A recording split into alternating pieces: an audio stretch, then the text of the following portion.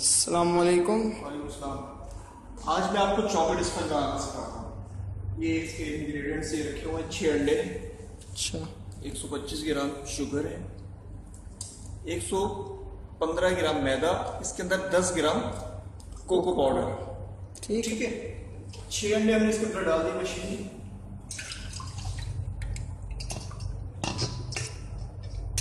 और इसके साथ 125 ग्राम जो शुगर हमने वेट करके रखी थी। वो भी डाल दी।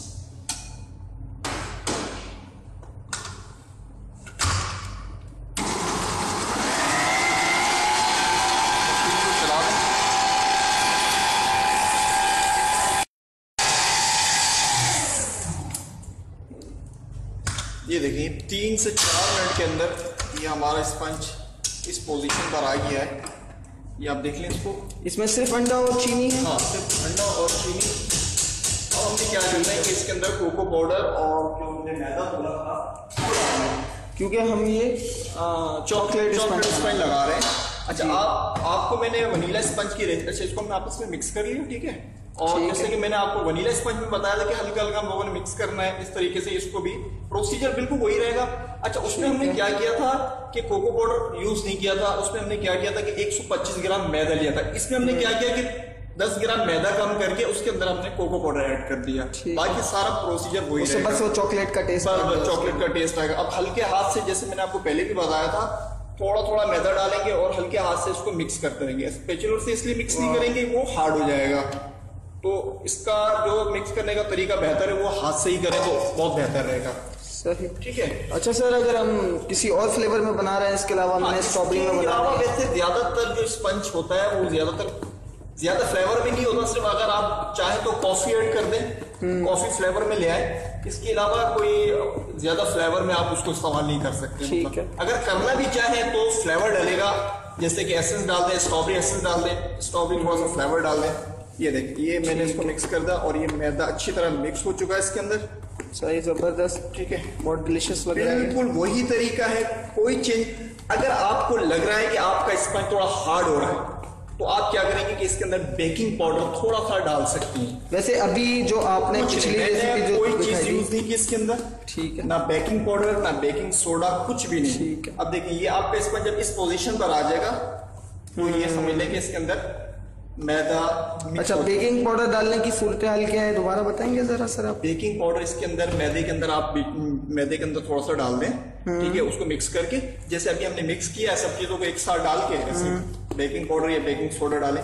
बेकिंग सोडा और बेकिंग पाउडर उस सूरत में जब डलेगा जब आपको लगेगा आपका स्पंज थोड़ा सा खराब होने का मतलब आपको लग रहा है कि खराब हो सकता है सही। उस सूरत में। नहीं तो ज़रूरत नहीं पड़ेगी। ठीक। अच्छा, दो मोड जो से पहले हम लोगों ने इस तरीके से ना ऑयल बटर जैसा आप लोग चाहें जो चीज़ लगाना चाहें। वो अपने बर्तन पे लगा लें बिल्कुल, बिल्कुल, बर्तन चारों साइडों पे कवर कर लें उसको। देखिए ये इसके अंदर मैंने इसको डाल दिया। ठीक है। और थोड़ा सा मैंने इसके अंदर डाल दिया। ये छह अंडों का स्पंज है। दो पाउंड के दो सांचे आपके बिल्कुल इजीली आप इसमें बेक कर सकते बेक कर सकते हैं। ठीक। रोजा लग। रहा ठीक इसको हम बराबर कर देते हैं। थोड़ा सा उसमें ज़्यादा हो गया इसको बराबर कर देते हैं। हम्म। अच्छा इसको पकाना भी उसी ही टेम्परेचर पे जैसे हमने वनीला स्पंज को पकाया था। 200 डिग्री पर। ठीक है? ये हो गया। ओके ये ओवन में रख दिया स्पंज ओके अच्छा सर इसकी डिग्री कितनी है? ये 200 मैंने आपको पहले भी बताया था 200 डिग्री पे ये पक जाएगा बिल्कुल। और आप इसको टाइम दे दें 18 मिनट का। 18 से 19 मिनट में ये हमारा स्पंज पक कर बाहर आ जाता है। ठीक है सर। तो 20 मिनट दे देते हैं इसको फ़िलहाल। 20 मिनट पे आपने ये बेकिंग पे लगा दिया और डिग्री है 200 डिग्री। 200 डिग्री बस ये 200 हो जाएगी ये बिल्कुल पूरी 200 हो जाएगी। ठीक है मतलब temperature लगा दिया। अप्रोक्सीमेटली अच्छा हमारी बहन ने पूछा था कि मेरे घर में ये ओवन तो नहीं है दूसरा वाला ओवन है। तो उसकी मतलब उसकी डिग्री का तो हमें मालूम नहीं होता तो ऐसा 10 10 से 5 15 मिनट आप उसको मतलब उसको हीट पे लगा के छोड़ दें। अच्छा। गर्म कर लें अच्छे तरीके से उसके बाद आप बेक कर दें। लेकिन उसका तरीका कार ये होगा कि हर पाँच सात मिनट के बाद आपको स्पंज को चेक करना होगा कि स्पंज कहीं खराब तो नहीं हो। गया। अगर उसमें डिग्री नहीं है तो कोई फ़र्क नहीं पड़ेगा। बस उसको अच्छी तरह से गर्म कर लें ओवन को आप। ओके। ये देखिए हमारा स्पंज हो चुका है। ये देखिए। पहले भी मैंने आपको इसके चेक करने का तरीका बताया था कि हाथ लगा के चेक करें। अगर फिर हाथ भी नहीं लगाएँ तो देखें इसने स्पंज ने बिल्कुल साइडें ये मोड को छोड़ दिया है बिल्कुल। तो इसका तरीकाकार यही है आपको पता लग जाएगा कि ये स्पंज हो चुका है। ठीक है? ठीक है। चलिए मैं आपको निकाल के दिखा देता हूँ। गर्म हो रहा है स्पंज ठीक है?